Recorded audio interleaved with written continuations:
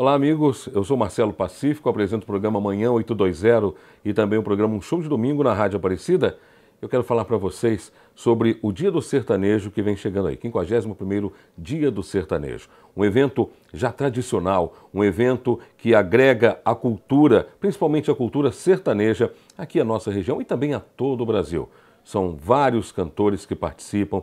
Na história do, do Dia do Sertanejo, temos aí várias duplas de grande nome nacional que participaram, que sempre estão participando, que dão esse apoio e fazem crescer cada vez mais esse evento tão importante para a cultura popular brasileira. O Dia do Sertanejo. Ele acontece no dia 3 de maio, a partir das 3 da tarde, aqui no auditório da sede da Rede Aparecida de Comunicação. A gente faz o convite para você. Venha, não fique fora dessa, tá bom? E você pode acompanhar também ao vivo pelo a12.com.